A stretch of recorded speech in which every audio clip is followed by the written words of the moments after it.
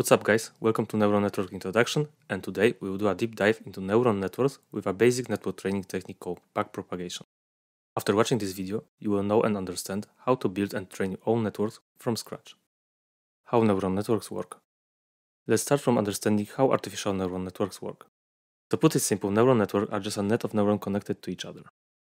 However, there is a pattern to how we connect neurons. First, we group neurons into our layers. First layer is called input layer. In our example, we define three input nodes marked as green circles. Next, we have a hidden layers. There is no limit for how many layers we can define. For this example, we create two hidden layers, first with 5 neurons and second with 4. Finally, we define output layer with two neurons, represented by two yellow circles. We connected adjacent layers by linking every neuron in one layer to every neuron in the next layer. Each connection between neuron has an assigned weight. This weight value determines the importance of the input from the connected neuron to the neuron in the next layer. A weight of 0 means that neuron disregards this input, essentially disabling the connection. Conversely, a weight of 1 indicates that the signal is highly significant. These weights are fundamental to a neural network's operations. During the training process, the neural network adjusts the weight to better align with the provided training and testing data, thereby improving its accuracy and performance. In our example, the neuron will accept three input values, try to return two output values based on those inputs. But what exactly are the input and output in neural network? How do we use them? Imagine we train our network to predict students' performance on an exam. We can use the following three input values. We're studying for exam, this will be input 1. Class attendance percentage, input 2. Number of practical problems solved, input 3. Based on this input, our two output nodes could predict the likelihood of passing the exam, that will be output 1, the likelihood of scoring above 90% on the exam, output number 2 forward pass. Okay, so how we calculate network output? Let's set the input layer to some random values. Next, we start calculating the state of neuron, beginning with the input layer and moving layer by layer until we reach the output layer. We proceed this way because each layer used the previous one as an input. Remember that each neuron has its own connection, each with unique weight assigned. We zoom in on the first neuron to closely examine how its state is calculated. The number above the connection represents the weight assigned to the neuron. To calculate the neuron state, we first multiply each input by its corresponding weight.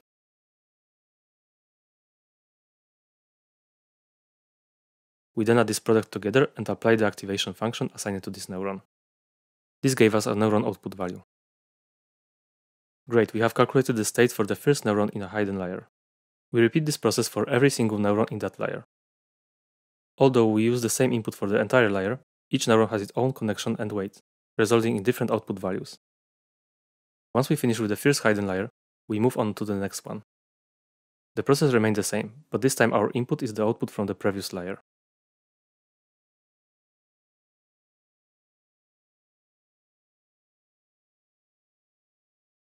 Finally, we move to the last layer, the output layer.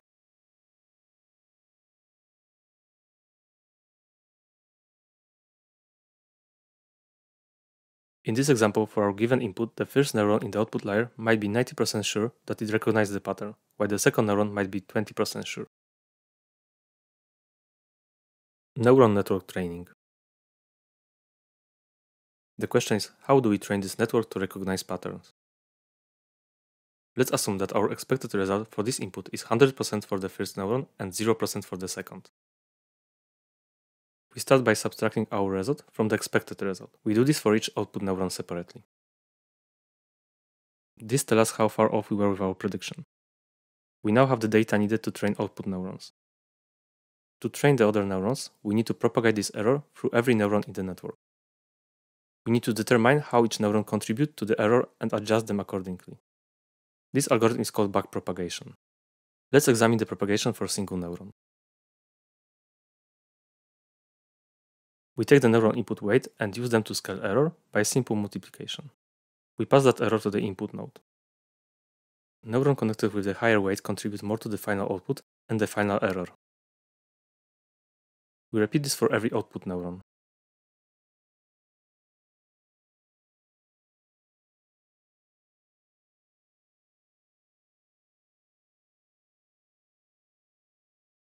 We end up with two error values per neuron because each output is connected to every input neuron. we simply add this value together to average them out.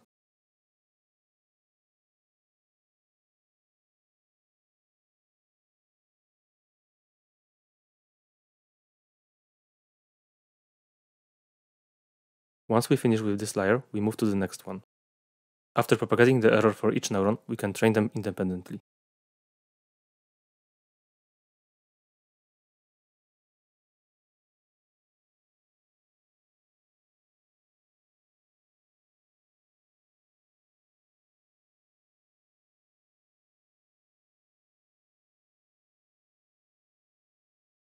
At this point, we have propagated the error to every neuron in our network, so it's time for training.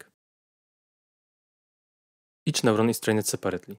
To train it, we need the neuron's input weight, activation function, and output error. We will simulate training for one neuron.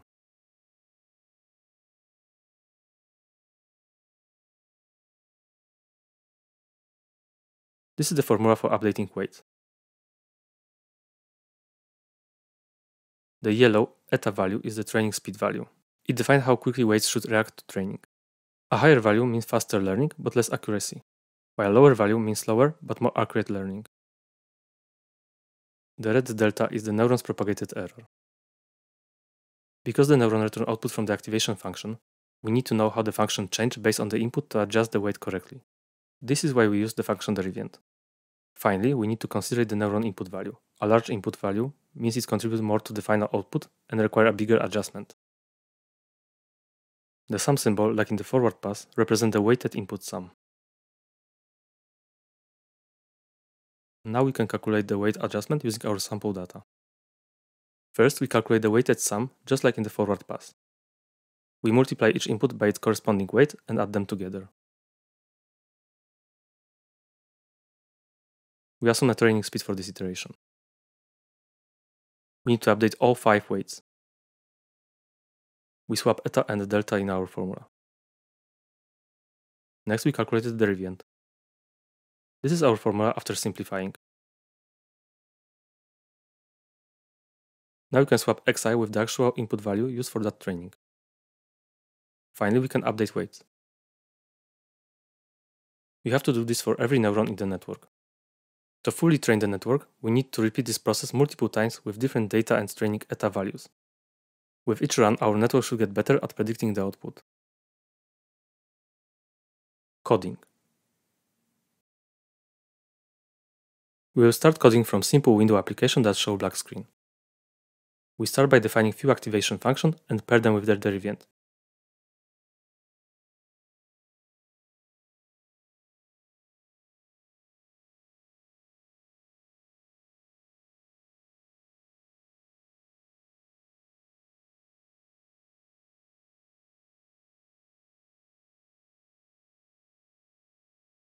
We put them in array and create lookup function that will return correct activation function by their name.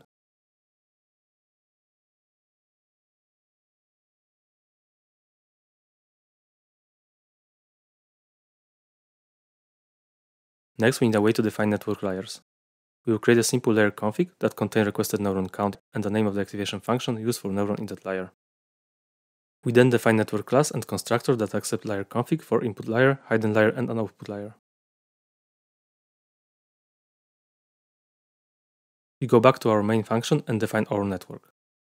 We will try to use neural network to learn how to color pixel based on screen coordinations.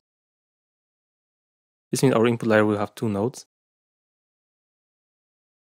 We will try to split 2D space into five sections. Each will be marked with different color. To do it, we will use five output neurons. Each neuron will be responsible for recognizing one section. We will try to add two hidden layers, both with 8 neurons. All layers will use sigmoid activation functions. Now we define function for calculating network state and training. Calculate function will accept input parameter and array to hold output. Output array size should be at least the same size as output layer. Training function will accept input, expected output, and a current training step, eta value. At this point we know we will need quick access to activation function, and for training purpose, we will need arrays to store neuron sum, derivation, and propagated error.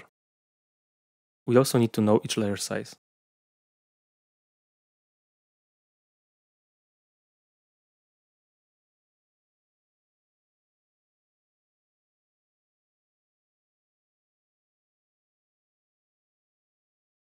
Next, we create all layer vector that will contain size of each layer in order, including input and output layer.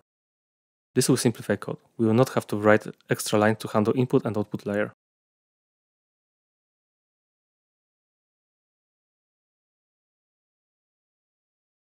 Our network needs weights to work. Let's count how many weights we need and allocate memory for that. All weights will be stored in one array to optimize memory usage. So we need additional offset array that will tell us where each layer data start.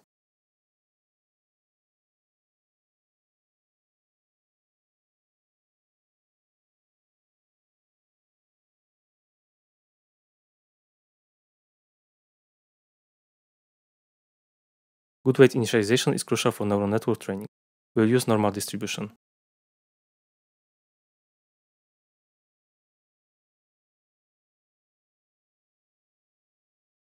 We do the same memory optimization for neuron data like weighted sum, input, output, deviations, and error. And we need to have a lookup tables for them too.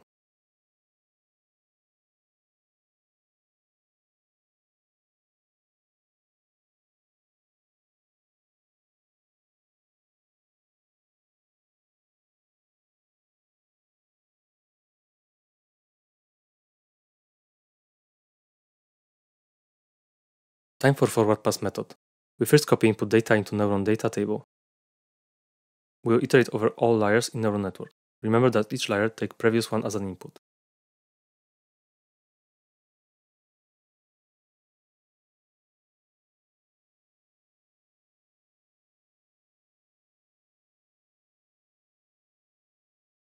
We iterate over every neuron in current layer and calculate neuron output.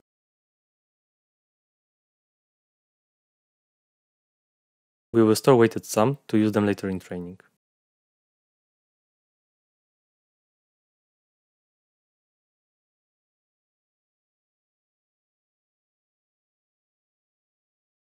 Last layer is an output layer, so we just return it.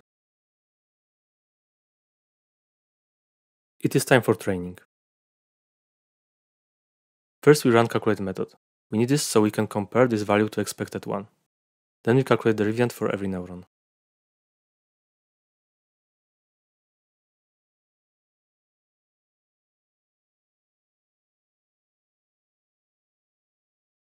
Now we can start error backpropagation.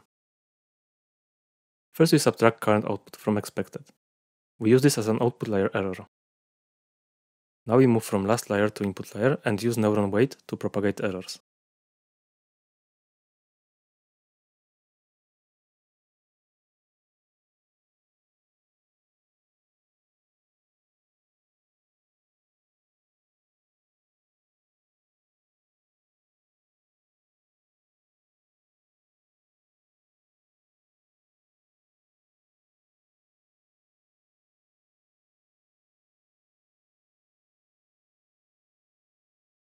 We are now ready to go through every neuron and update weights.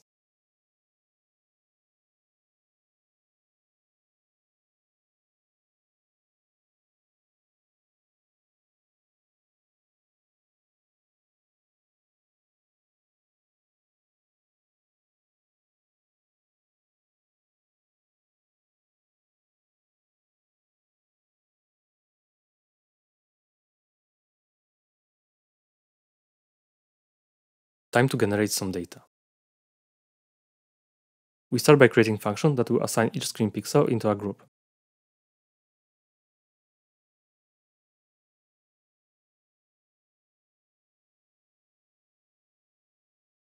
This is what we try to achieve. Once we have this function, we create another one that will use it to generate random dataset.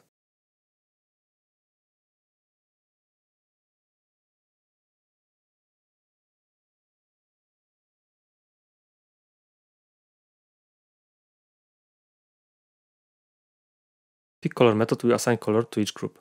This is for drawing purpose.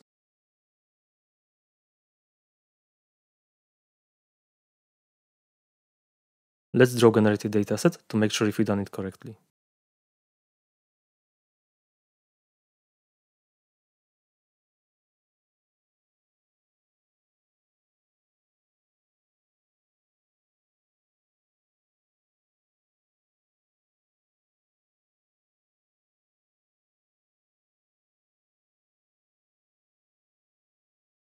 It is time to use our data for training.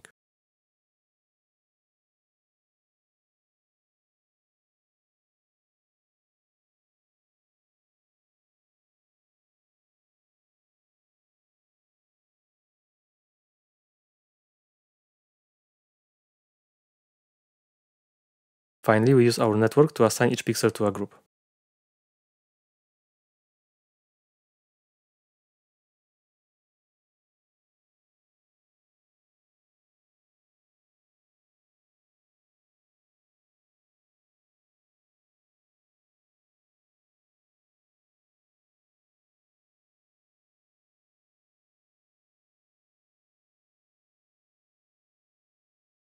Let's run our network and check if everything working.